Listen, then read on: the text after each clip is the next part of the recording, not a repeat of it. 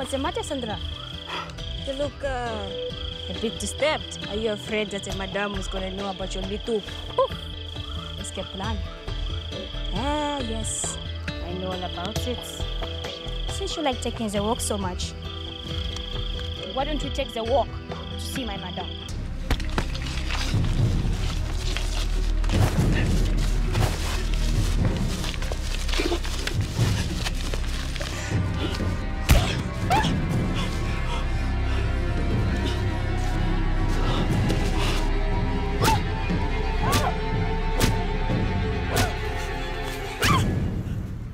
Make no mistakes about that. Well, if you're holding all the cards, why haven't you called your accomplices yet, huh? Why haven't you called them yet?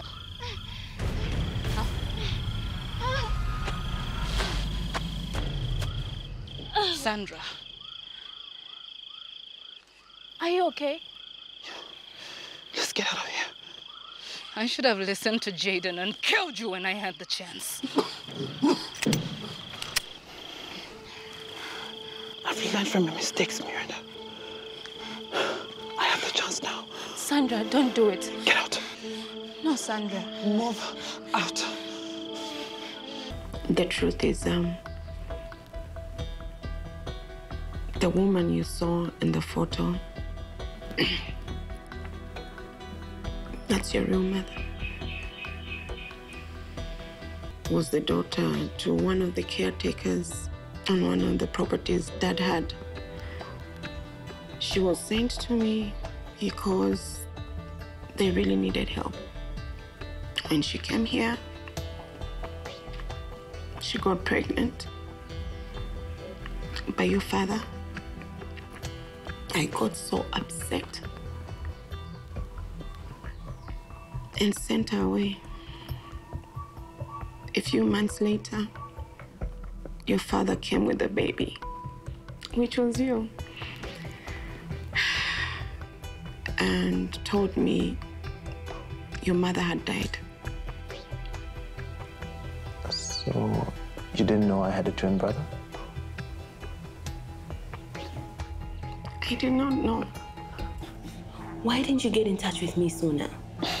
Susan, how could I? I was being kept prisoner of Unankan Kongo. Miranda is a rebel leader, did you know? Yeah? Okay. ah. You know, she tried to train me as a rebel. In the end, I got the last laugh. It is now the rebel leader herself who is chained down to her bed. We can't go ahead with the plan, Doc. I beg your pardon?